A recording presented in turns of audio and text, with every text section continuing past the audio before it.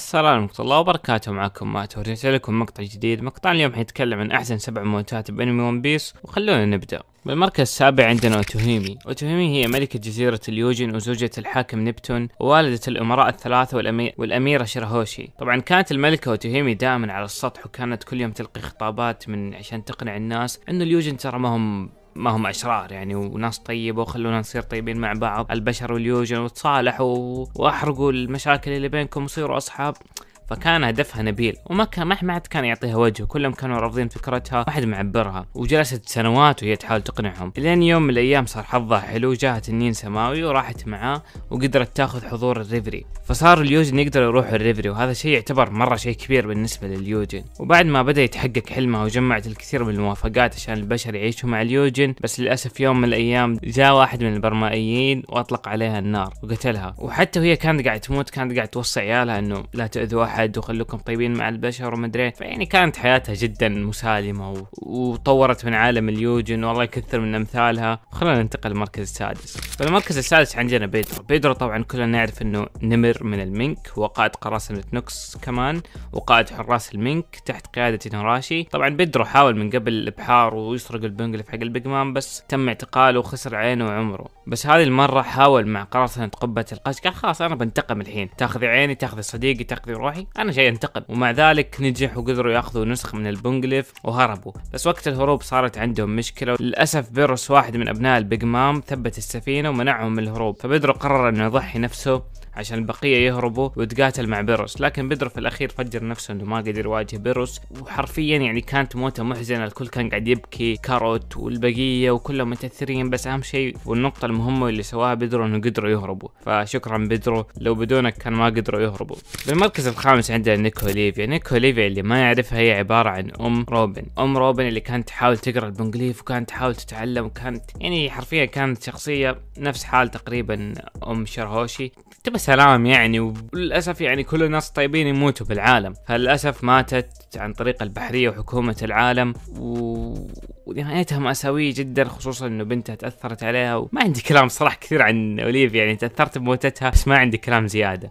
فخلونا ننتقل للمركز الرابع. المركز الرابع عندنا كوروزاني اللي هو أخذ فلامينكو. طبعا هم الاثنين التنانين السماوية من عائلة دون كيهوتي بس بعد ما قرر يتنازل والدهم عن كونه تنين سماوي وقرر العيش حياة طبيعية عند البشر العاديين. بس للأسف البشر يعني ما ردوا لهم الطيب بالطيب وبعد ما عرفوا إنهم كانوا تنين روبي صاروا البشر العاديين يكرهوهم وتعرضوا للمشاكل ومطاردة. بعدين ولدهم كان يبي يرجع يعيش بماريجو ولكنهم رفضوا وماتت والدة دوفي. بعد ما دوفي قتل أبوه كوروزان كان قاعد يبكي وما يعني رجال انهار فبعدين لقاه سينجوكو واعتنى فيه وخلاه جندي البحرية وصار جندي استخباراتي البحرية. وبعد سنين طويلة كروزان رجع لأخيه. وبعدين دوف فرح مرة إنه شاف أخوه يعني أخوه مفترق عنه عن سنين ففرح. وطبعا بعد ما تقابلوا دوفي فرح إنه شاف أخوه بعد فرق طويل وأعطاه منصب عالي بالقراصنه حقته فكان جدا فرحان يعني. ما يدري إنه كروزان كان مخبي عليه وكان قاعد يتجسس وحرفيا كان عبارة عن جاسوس لسينجوكو. يعني ما أدري كيف يغدر باخوه كذا بس تقريبا سينجوكو صار أعز عليه من أخوه. عموما بعدها التقى كروزون بلاو وهنا هذا من أجمل الأشياء اللي صارت بحياة كروزون. ولاو كان عنده مرض خطير المرض هذا كان جدا قاتل. كروزون حاول يوديه كل المستشفيات بالعالم بس للأسف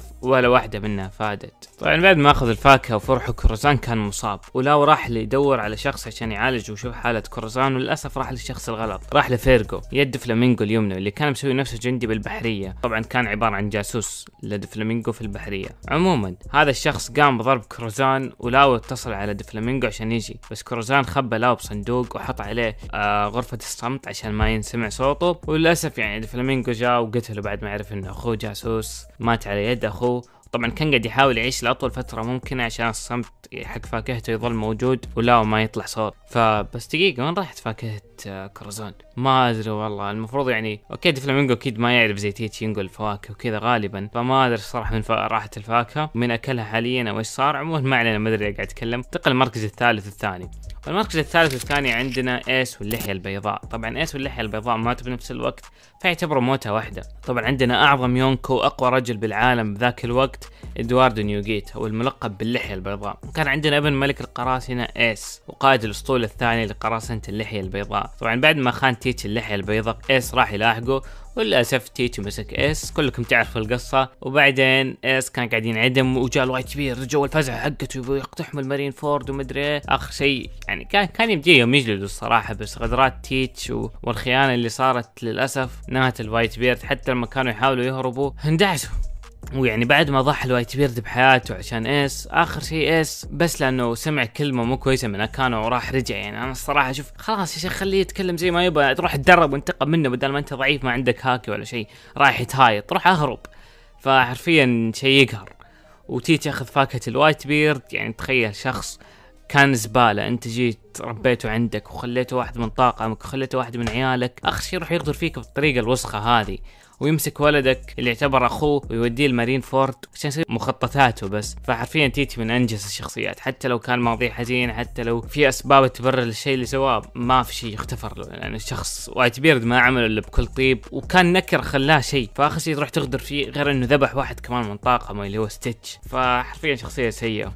وزي ما كنت قاعد أقول إيس غبي يعني كان المفروض يهرب ما كان المفروض يرجع. فللأسف يعني يا ريت تدخل شانكس قبل. بس عموما White Beard كان ناوي يموت ناوي يموت ما فارقة معاه خصوصا إنه كان خلاص على شفير الموت رايح فيها. فشكرا White Beard على اللقطة الرهيبة اللي أعطتنا إياها. وقت دخول المارين فورد شكرا إيس إنك غبي. أخي يقهر يقهر والله إني مقهور يا أخي. White Beard بحياته على الفاضي. عموما ننتقل للمركز الأول واللي كثير حينصدموا ليه أنا حاطه بالمركز الأول. غالبا مو كثير تأثروا بموته ما حد مهتم فيه غالبا.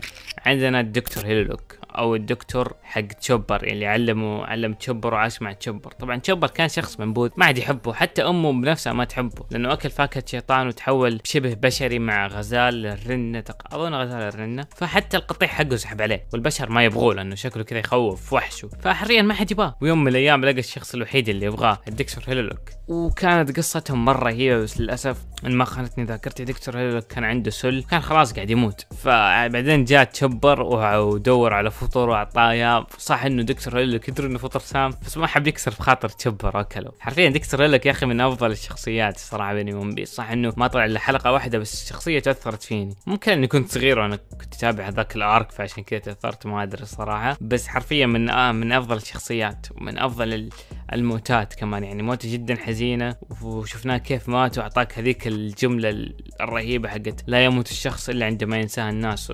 الملخص حقها زبدة. فحرفيا من أفضل الموتات وما أدري ما أظن مو الكل يتفق معي. الكل يشوف ايس ولا اعتبر أفضل موتة بس أنا عن نفسي أشوف هذه أفضل موتة. فاكتبوا لي رأيكم بالكومنتات وبس والله تصلوا على النبي ومع السلامة.